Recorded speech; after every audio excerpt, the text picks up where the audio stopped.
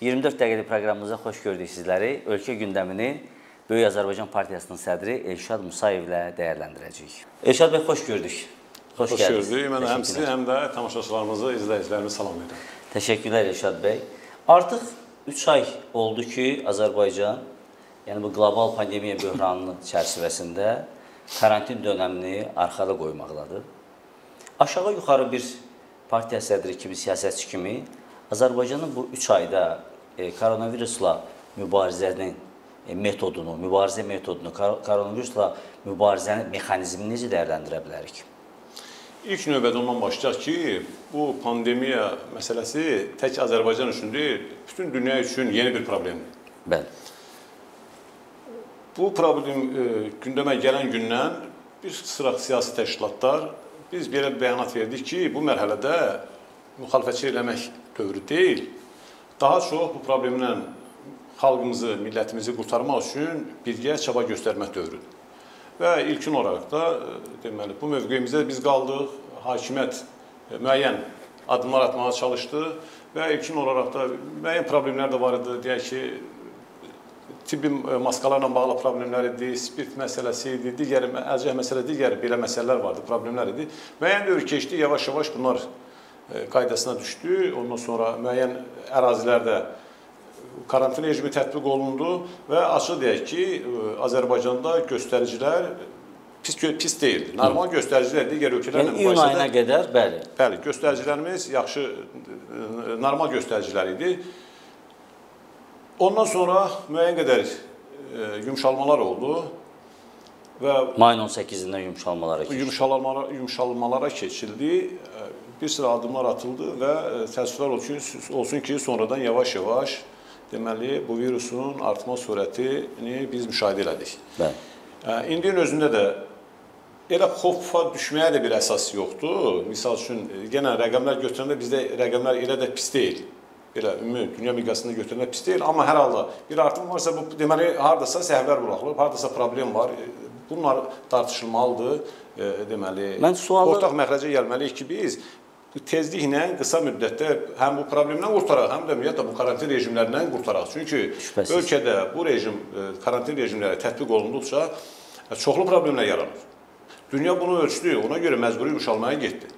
Çünki ölkənin bir iqtisadiyyatı var, inkişaf eləməlidir, insanların psixoloji tərəfdən var, bu stress məsələsi var, digər məsələlər var. Bunlar da aradan götürülməlidir, adamların dolanışığı təmin olunmalıdır ölkədən kənarla müəyyən qədər təmaslar olmalıdır və s. yəni çoxlu problemlər var ki, bütün ölkələr çalışır ki, bunu tez aradan götürsün. Təəssüflər olsun ki, Azərbaycanda son dövrlər müəyyən qədər vəziyyət bir qədər tündləşib. E, bir sıra da onu da etiraf edilək ki, misal üçün modul xəstəxanalar filan açılır, bunlar da yaxşı hallardır.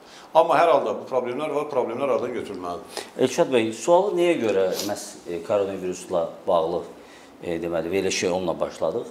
E, bu günləri aşağı-yuxarı Azərbaycanda e, birinci önəmli olay kimi elə koronavirusla mübarizənin sonucları, ölkədə nələr baş verir, bu bir qlobal pandemiyadır, qlobal problemdir və biz də o e, qlobal dünyanın bir parçası olaraq təbii ki, bu problemin e, öz ağuşuna almış bir ölkəyik bu problemi. E, məsələ bundadır ki, mənə çox maraqlıdır. Bu günləri artıq bizə informasiyalar daxil olur ki, bizə ən yaxın e, ölkə olan Türkiyədə iyulun 1-dən yumşalma tədbirlərinə başlanılır. E, Türkiyədə təxminən 180 min yoluxma halından 145 mini artıq sağalıb. Yəni çox ciddi rəqəmlər var ortada. E, amma bizdə artıq iyun ayında e, həftə sonları Türkiyənin bu məsələdən artıq imtina etdiyi bir dövrdə bizdə e, şənbə bazar evə qapanma e, mexanizminə e, deməli üst tutdular və onun da sonucları çox ağır oldu. E, ölkənin gündəmini zəbt edib ötən həftə baş verən xüsusilə polisin e, vətəndaşın evinə baskı göstərməsi, vətəndaşın evinə basqın etməsi, özü də e, o polisin gerçəkdən gedib cəbhə bölgəsində mübarizə apara biləcək, işğalçıya qarşı mübarizə apara biləcək o görkəmli deməli mundir sahiblərinin, uniforma sahiblərinin gəlib vətəndaşın evinə hücum etməsi bir mənalı şəkildə ölkənin bir nömrəli probleminə çevrildi belə deyək. Mən ona görə deyirəm, nə hansı qüsurlar oldu ki, biz yenidən bu e, qapanmaya üst tutduq, sərtləşməyə üst tutduq. Bu problemləri sizdən eşitmək maraqlı olardı, yəni problemlərin adlarını sadalamağa. Aydındır. İlk növbədə ondan başlayaq ki, bu pandemiya gündəmə gələndən sonra ölkənin Səhiyyə Naziri danışmır. Ciddi problem budur. Yəni bu problemlə ilk növbədə mütəxəssislər, virusoloqlar, həkimlər bunlar danışmalıdır. Bunlar çıxış yolunu göstərməlidir. Bir təbib adına qurum düzəldilib. Bu təbbin sədri çıxır, İbrahim Məmmədov danışır. Yəni ikinci, üçüncü, beşinci dərəcəli adamlar danışır. Və çox qəribədir ki, Misal üçün bu problem gündəmə gələndən sonra bu təbliğat məsələsində o qədər ciddi qüsurlar buraxıldı ki, misal üçün artistləri çıxardılar, bunlar mütəxəssis kimi danışır. Olmaz axı bu. İnsanları daha da qıcıqlandırır, əsəbləşdirir. Yəni bu artistlər dünyanın Azərbaycanın bütün problemini bunlar həll etməlidir. Buna hər şeydə bunlar danışmalıdır. Yəni bu siyasətdən əl çəkilməlidir. Və Türkiyədə deyirsiniz ki, say azaldı. Tamamilə düzdür. Türkiyədə də, Rusiyada da, digər ölkələrdə də əksəriyyətində də kim bu ə, məsələ ilə bağlı, bu pandemiya ilə bağlı gündəlik məlumat verir, müzakirələr aparır mütəxəssislər. Ən güclü mütəxəssislər, ölkənin ən güclü Yanaşma mütəxəssislər. peşəkarcasına olur. Peşəkarcasına olur. Yoxsa iki artisti yıx- nə bilim mən o bir, bir manısız çıxart, bunlar müzakirə eləsin. Olmaz bu. Yəni bu bir səhv ciddi səhv bu. İkinci bir səhv. Misal üçün hamı tibbi ma- maskadan danışır, əlcəkdən danışır, spirtdən danışır, düzdür? Amma əslində baxanda infeksiya niyə yayan? Ən böyük mənbə puldur. Hər gün insanların əli pula dəyir. Mən demişəm, bir də təkrar edirəm. Ölkənin Nazirlər Kabineti də var. Səhiyyə Nazirliyi də var. Bu e, operativ qərargah da var. İqtisadi Nəqliyyat Naziri də var, digərlər var. Milli Bank da var. Bəs bu adamlar fikirləşmir ki, biz bu, bu, bu problemi nətər aradan götürək?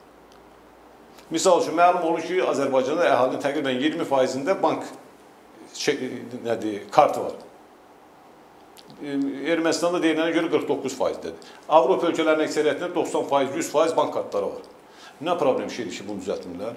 Yəni bank kartı, Milli Bank otursun mütəxəssislər. Otursun fikirləşsinlər, hər bir bank kartı olsun.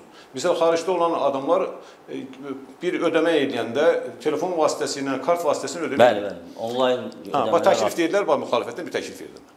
Ki bu məsələni həll edirsiniz. Yoxsa pul nə qədər ki dövriyyədədir, hər gün əlimizi pula vururuq, bir problem yaranır. Düzdür? Bu da Doğru, bir problem. Ondan sonra o karantin rejim məsələsi bu ciddi ölçülü biçilməlidir. Bir mən bir sadə misallar çəkirəm. Misal üçün bu Bakı şəhər icra hakimiyyətinin başçısı Eldar Əzov bir göstəriş verib Bakı şəhərində bütün binaların üstündəki çənlər götürülüb. Su çənləri götürülüb. İndi yay günüdür. Karantin yenə tətbiq olunacaq. Və mən misal mən Xətai rayonunda yaşayıram. Orada 2 gündən bir su kəsilir. O bilmirəm su idarəsinin müdiri kimdir, kimi qoyublar da, o 2 gündən bir orada su kəsilir. Ümumiyyətlə bu su təchizatına baxan bu mütəxəssislər yox, e, ümumiyyətlə bu rəhbərlik bunlara baxır. Təsəvvür edin ki, bu karantin rejimində bu isti gündə su kəsildi. Biri mən vətəndaşam. Və ya körpə uşağım var. İstəyirsən yer kürəsi dağılsın, mən gedib uşağıma su gətirməliyəm. Bu karantin rejimi belə pozulur. Yəni adamlar misal üçün bu Eldar Əzizov deyir. Çəni götürürsən su ilə təmin edin. Yox, təmin edə bilmirsən çəni götürmə. Yəni adamların bu vəzifəli şəxslərin bir məsuliyyəti olmalıdır Rüfət bəy. Bir məsuliyyəti olmalıdır. Adam öz hərəkətinə çəkir, düzən verməlidir, atdığı addıma düzən verir. Yoxsa mən belə istəyirəm, sən kimsən elə istəyirsən. E, İki kəlmə deyək ki, Azərbaycan türkçəsində danışa bilməyən adama bu boyda Bakı şəhərini veriblər. Bu da gəlir misal bir problem mənbəyi yaradır ha.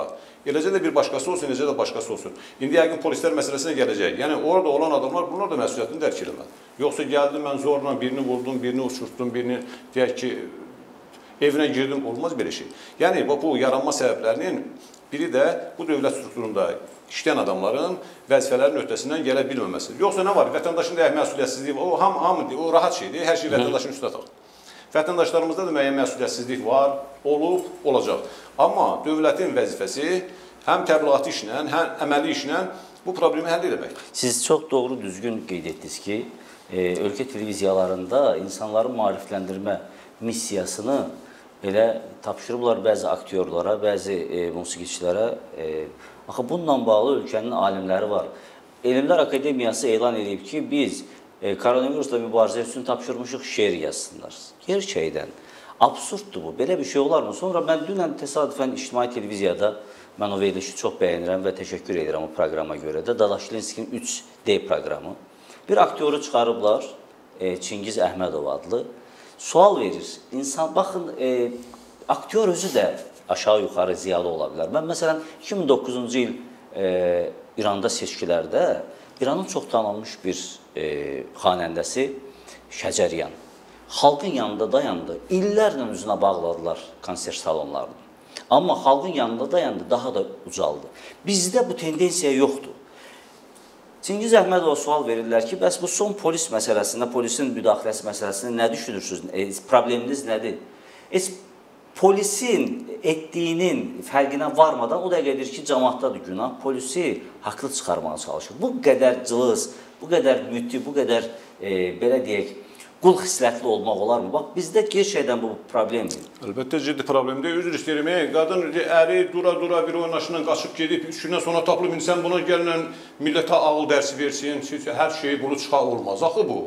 Yəni insanların əsəblərini oynayır, qıcıqlanır insanlar. Amma bir də var mütəxəssisləri çıxardasan. Və yaxud da biri bir Lap kişi xəylağı olsun, artist olmuş, kim olsun da bu cəmiyyət içində bir hörmətsiz adam deyilə qabiliyyəti yoxdur. Sən buna çıxardın, 2 dəqiqədən bir reklama çək bunu, virusun deməli öhdəsindən belə gəlmək olar, belə xalqa məsləhət versin.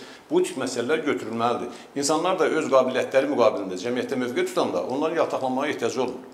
Yəni bizim heç birimiz bu dövlətə düşmən zət deyilik ki, biz dövləti hamı hamıdan çox istəyirik. Rəşad bəy. Ona görə də Üzr istəyirəm. Kim? Bax bu hakimiyyətə deyək ki, o bayaq dediniz, Çingiz kimi. Deyək ki, o mətiyə deyən yaltaqlananlar var, nə olursa olsun yaxşı deyən adamlar var. Əgər dövlətə yaxşılıq eləmək istəyirlərsə, o çatışma nə var onu desinlər. Yaxşı onsuz da yaxşıdır da. Yaxşı nə var biz deyirik yaxşıdır. Amma pis nə var bunu demək lazımdır ki, bunu aradan götürək. Olmaz, bax dünya baxır. Dünyanın gözü önündə deyək ki, polislər getdi, insanların evinə girdi. Birinin lüt, yarım lüt ət çobala çıxartdı. Birinə e, deməli baxırsan adamın heç olmaz biri 60 yaşı var. Başına döyə-döyə çıxartdı. Birinə dovşan dedi, birinə onu dedi, birinə bunu dedi. Olar belə şey.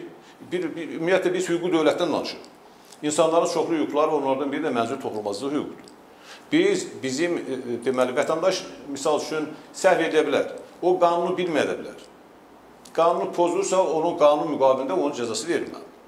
Yoxsa sən get Samasud elə orada öz başına kimisə döy. Ümumiyyətlə bu hadisə ciddi müzakirə olunan sıcaq bir hadisədir. Əslində baxanda bu çox ciddi çox ciddi surətdə bu araşdırılmalıdır. Provokasiyadır. Birbaşa provokasiyadır. Bu ölkədə vəziyyəti gərginləşdirmək üçün, bu ölkədə milləti meydan oxumaq üçün, hamını əzərəm, kəsərəm demək üçün atılmış sanki bir addımdır, həm də ciddi provokasiyadır. Ərəb hadisələri nədən başladı? Tunisdə bir nəfər getdi özünü yandırdı. Qeyri-siyasi insanlara həmin müstəviyə, zor müstəvisinə çəkib e, Ay, ümumi etirazlara səbəb oldu. Amerikada deyək ki, bir zənciyə qarşı polis aşırı güc tətbiq etdi ciddi hadisələr baş. Yəni dünya təcrübəsində çoxlu çoxlu belə hallar var ki, bu, bu təcrübə nəticə nəticəsinə əsaslanaraq deyə bilərik ki, heç nədən ölkədə gərgin yaradıla bilər, qarşıdurma yaradıla bilər. İndi deyilənə görə polislərdə müəyyən qism cəzalanıb. Məsəl üçün bir nəfər var, o kimi ki, yarı lüt oradan çıxardıb, Onun atası da icra başçısı deyilənə görə qaynatası da icra başçısı. Ağcabədi icra başçısı. Bir vaxt prezident İlham Əliyev dedi ki, kim özünü harımlamış, qudurmuş şəkildə hə, aparsa, onun qudurğanlıq on, qudurğanlıq edibsə, onun atasını işdən çıxardacağam. İndi bax mən təklif edirəm o icra başçısının, Ağcabədinin bir də Suraxanın ən yaxşı işdən çıxmağa layiq olan namizədlər bunlardır. Fəaliyyəti yoxlanacaq adamlar bunlardır. Mütləq çünki əgər bir adam Azərbaycan, sadə Azərbaycan vətəndaşına bir qul kimi, əşya kimi yanaşırsa, deməli bunun ailədə problem var. Şübhəsiz, şübhəsiz. Elşad bəy, mən elə bu mövzunu davam etdirmək istəyirəm. E, biz Kanal 13 olaraq bir sorğu keçirmişik. Sorğuda e, sual belə qoyulub. E, ötən həftə polislərin insanların evinə basqınlar etməsi ilə müşahidə olunan hadisəyə münasibətiniz necədir? E, deməli 5 seçim var. Birinci şiddətlə qınayıram o polislər cəzalanmalıdır 12%. İkinci, şiddətlə qınayıram, polislər cəzalanmalı, nazir istefa verməlidir 83%. Məncə qeyri-adi heç nə yoxdur. Polis doğru addım atıb 3%. Polis az etdi, o binalarda olanlar da hətta həbs edilməlidir. 1% mən maraqlanmıram, nə vecimədir. İndiyə qədər bu qədər kəskin mövqe bildirən, yəni faiz hesabında bizdə e, az sorğular olub ki, 83%, yəni mütləq əksəriyyət və 12% də bunun üstünə gəlsək, 95% şiddətlə qınayıram, o polislər cəzalanmalıdır və nazirin istefa verməsini də 83% qeyd edir. Sizcə bu e, real rəqəmlərdirmi? Cəmiyyətdə bununla bağlı mövqe necədir? Cəmiyyətdəki o e, fikirlər nisbəti sizə e, o tablonu necə görürsüz bu olaylardan sonra? Cəmiyyətin böyük əksəriyyəti təpşir edir. Yəni bu halı yemədi bu xalq. Qəbul eləmədi. Etiraz elədi. Kimsə səsini yavaş çıxartır, kimsə möhkəm çıxartır, kimsə bizi kimi deyək ki, bu ekranlardan etirazını bildirir, amma böyük kəsim bunu qəbul eləmədi. Və hakimiyyət də bundan mütləq nəticə çıxartmalıdır. Bu hadisələrin bir dəfə, iki dəfə təkrar eləməsi ölkədə ciddi qarşıdurma yarada bilər. Qarşıdurma yox, mən ümumiyyətlə dəfələrlə deyirəm ki, ölkədə bu hakimiyyətin içində olan qüvvələr inqilab hazırlayıb, onlar həyata keçirirlər. Çünki belə düşüncəsiz addımlarla qarşıdurmaya xidmət el eləyə biləcək o tavırlar sərgiləməklə, hərəkətlər etməklə ölkədə xırda yox, böyük qarşıdurma da yaradıla bilər. Vətəndaş sonda vətəndaş itaətsizliyinə də gəlib çıxara bilər. Çünki əsəbi vəziyyətdir, stres vəziyyətindədir, insanların yüz problemi var. Və 21-ci əsrdə dünyanın da demokratiyanın çiçəkləndiyi bir dövrdə yaşlı bir kişini sən orada bala, orada deməli döyə-döyə gətirəsən, heç kəs qəbul eləməz. Təsəvvür edin, ermənilər bunu əllərində dəstəvuz edəcək. Götürəcək bunu, bütün dünyanı nümayiş elətdirəcək. Deyəcək, bizə deyirsiniz, siz bunlarla bax bircə yaşayın. Bu dövlətdə necə yaşayaq biz? Görürsünüz, bax, heç eləməmiş adam, özü o adamların, misal üçün, kim qarantiya verə bilər ki, onların hamısı da orada zibil atıb. Bəlkə elə svar heç atmayıb. Bəlkə elə svar atıb. Bir də e, üzr istəyirəm. Bir də məsələn o zibil atanlara kim haqq verdi ki? Heç kəs haqq vermir. Amma yenə deyirəm, bu vətəndaş hətta zibil atıbsa, hətta bir qanun pozubsa, onun qanun çərçivəsində bunun cavabı verilməlidir. Yoxsa mən istəyirəm gedim əzəm, döyəm, o haqqı, o səlahiyyət heç kəsə verilmir. Yəni bu təsadüfi adamlar gətirib polisə qoyublar. Əslində baxanda bu, bu, bu, bu da bir problemdir. E, polis sistemində yüksək rütbə tutan adamların əksəriyyəti çox yüksək rütbəli məmurların övladlarıdır. Məmurların övladlarıdır. Və bunlar da aşağı belə sadə insanlar aşağı təbəqə kimi baxırlar. Belə heç kim kimi baxırlar, ona görə də bir əşya kimi baxırlar. Ona görə də hər cür rəzalət törədirlər. Yəni bunun qarşısı almalıdır. Və yenə təkrar edirəm, bu cür hallar ölkədə ciddi qarşıdurmaya səbəb ola bilər. Hakimiyyət tədbir görməlidir, o polislər də çox ciddi surətdə cəzalanmalıdır. Bir də təsadüfi deyil, bir qoşun gəlib, bir alay gəlib. Kim əmr verir buna? E, həm may ayında, həm iyun ayının əvvəllərində e, həm indiki nazirləri, məsələn İlmar Məmmədiyarovun oğluna məxsus mülklərin ortaya çıxması, eks e, MTN şefi e, Eldar Mahmudovun e, çox ciddi məbləğdə mülklərinin ortaya çıxması, e, keçmiş mədəniyyət naziri Əbülfəz Qarayevlə bağlı və s. və s. sonra səfirin oğurluq etməsi, İsveçrədəki xanım səfirin oğurluq etməsi, bu məsələlər gündəmdə bir ajotaj yarandı. Yəni e, hakimiyyətə bir gerçəkdən ona bir kleptokratik mahiyyətini ortaya qoydu ki, sən busan e, hakimiyyətsən, buna qarşı nə deyə bilərsən? Ən e, absurd səslənən isə o Xarici İşlər Nazirliyinin sözçüsü qeyd etdi ki, bu şəxsi məsələdir. Gerçəkdən şəxsi məsələ kimi bunu yozmağın özü e, belə nə qədər diletantçasına yanaşma idi. Sizcə bu son polis olaylarında bir də həmin o e, nazir mülkləri məsələsinin qalma-qalının, hətta Guardian belə yazmışdı bundan bağlı. Bunun üstünü bastırmaq missiyası da ola bilərdimi sizcə? Məncə o bu o hadisənin özü ümumiyyətlə çox ciddi hadisədir. Bu rüşvət korrupsiya məsələsi, nazirlərin adı hallanması, sübut olunması bu çox ciddi məsələdir. Kriminal deyil, sərt tədbirlərdən qorxur. Yəni sərt tədbir görülməlidir. Bütün o nazirlər barədə də, indi işləyənlər barədə də bu ayrı məsələ.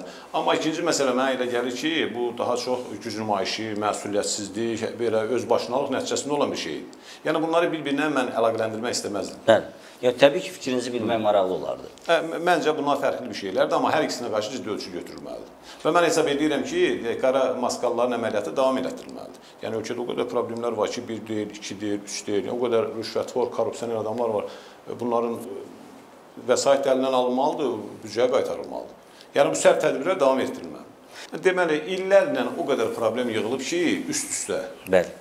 İndi qısa müddətdə açıq deyim, bunları birdən həll etmək də mümkün deyil. O qədər yığılıblar, bunlar problemlər yığılıb, rüşvət yığılıb, korrupsiya yığılıb. Təsəvvür edin ölkədən kənarda bizim xarici missiyada çalışanlar var. Kim yoxlayır bunları? Nə vaxt yoxlayırlar? Bu adamlar nə ilə məşğuldur?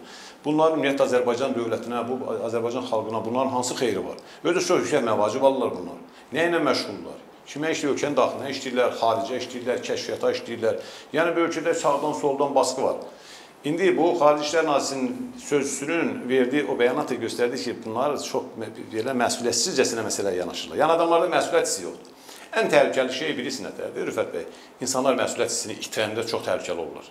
Adamlarda məsuliyyət hissi yoxdur. Məsuliyyət hissi yoxsa da həmin o bəyanat verəndə, Elmar Məmmədiyarov da, digərləri də ciddi yoxlamaya məruz qalmalı. Şübhəsiz. və tədbir görməlidir. Yəni dediyim odur ki, e, adamları həbs eləməklə məsələ həll olunmur. Həm də əlindəki vəsait alınmalıdır. Həll. Elşad bəy, bu hadisələrin, yəni bu məm məmurların xaricdə, ölkə xaricində, yəni görürsüz ölkədə əhalinin durumu da göz önündədir. E, gerçəkdən bir vicdan faktoru gerçəkdən bu hakimiyyətdə mövcud deyil ki, bu qədər insanların qanuna büdcəni talayaraq hər kəs öz övladına, o Rövnə Abdullayevin saat məsələsini də unutmamış. Belə bir e, ölkədə ha, e, deməli hakimiyyətdə olanlarla və ya hakimiyyətdə olmuşlarla bağlı faktların üzə qoyulduğu zamanda bir də gəldik 28 may Cumhuriyyətimizin 102-ci il dönümü ilə bağlı ölkə prezidenti bu məsələlərə e, mövqe bildirmək əvəzinə e, Cumhuriyyət qurucularımızı İrəvanı satmaqda, bu kimi çox ciddi iddialarda və çox təşəkkür edirəm hörmətli alimlərimiz bununla bağlı verilişlərimiz də olub, təbii ki, mövqe bildiriblər. Amma bir siyasətçi kimi Cumhuriyyət qurucularımıza qarşı saldırma oldu. Dalıcan e, 4 iyun hadisələri öncəsi 92-93-cü il hakimiyyətinə qarşı çox ciddi ittihamlar oldu. E, nə baş verir? Bunları bir e, deməli aspektdən dəyərləndirmək mümkünmü? Yəni eyni planın tərkib hissələrimi ya fərqli-fərqli olaylardır? Yəni verilişimizin sonunda da cəmi 2-3 dəqiqəmiz qalıb, bunu da sizdən eşitmək maraqlı olardı. Hesab edirəm, edirəm ki, 4 iyun hadisələri ilə Cumhuriyyət qurucularımızla bağlı məsələlər bir-birindən ayırmaq lazımdır. Cümhuriyyət qurucularımıza biz hamımız minnətdar olmalı ki, bizim cümhuriyyətimizi qurublar. O dövrdəki tarixi şərait də hamısı təhlil olunmalıdır. Amma bir şey də mən açıq deyim ki, hətta cümhuriyyət qurucularımızın dövrü belə təhlil olunmalı. Yəni Əlbəttə. ondan qorxmaq lazım deyil. İrəvanın verilməsi ilə bağlı açıq deyim, fərqli mövqelər var. Heç bir təhqirsiz, heç bir aşağılama olmadan bu təhlil olunmalıdır. Bir qism hesab edirik ki, o dövrki tarixi şərait buydu. İkinci hesab edir ki, İrəvan verilməməlidir. Və mən də hesab edirəm ki, İrəvan dövləti əgər yaratmaq istəyirlərsə ermənilər, çünki bizim qardaş Türkiyədən də baskı var idi bizə. Reallıq budur, həqiqət budur. Elə Türkiyənin arasında yaradırdılar da. Yəni təbii ki, Türkiyənin o dövrdə bax, bax, bu, bu, bu, bu da heç kəs demir, mən Rəşad Musayevin mövqeyi. Ermənilər daha çox orada idilər. Bizim İrəvanda yox, İrəvan xanlığı 1828-də təslim oldu. Ən axırda təslim oldu. Elşad bəy. O elə bil ki, orada da erməni, ondan sonra erməni vilayəti yaradı və s. və s. gəldi, axıra gedir. Yəni Cümhuriyyət qurucularımıza biz başdan ayağa hamımız borcluyuq. Hamısını hörmətlə yanaşmaq lazımdır. O dövrdə də müəyyən səhvlər də ola bilər, müəyyən gecikmələr də ola bilər, tarixi şəraitə də nəzərə yetirmək lazımdır. Amma Cümhuriyyət qurucularının yeri bizim başımızın üstündə. Heç kəsdə amma bütləşdirmək olmaz. Qaldı 4 iyun hadisələrinə. 4 iyun hadisələri ilə bağlı Son dövrlər mən ümumiyyətlə çalışıram ki, bu məsələdən biraz kənarda durum. Çünki dəfələrlə demişəm ki, 4 iyun hadisələri... Bu məsələ nöqtələnməlidir əslində. Ay sağ ol. 4 iyun hadisələri bizim ölkənin demokratik qüvvələrini, bu milləti, bu xalqımızı birləşdirən nöqtə deyil, bizi ayıran nöqtədir. Fərqli mövqelər var. Heç kəs mövqeyindən çəkilmir. Bizim əksəriyyətimiz reallığı bilirik. Bu olub, qurtarıb gedib. O indi buna qoy bizim tarixçilərimiz, qoy mütəxəssislərimiz qiymət versin.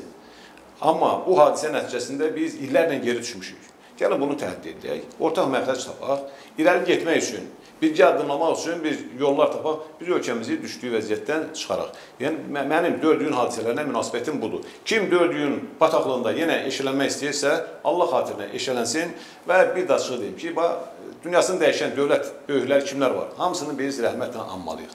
Bu Əbülfəz Elçibəy də Allah rəhmət eləsin. Da onun tərəfdarları da, əleyhdarları da iki dənə çəksin da. Nə qədər olar? Ey adamın adından nə qədər istifadə edənlər var. Dolanışıq elçibəyin adından bu dəqiqədə çıxardanlar var.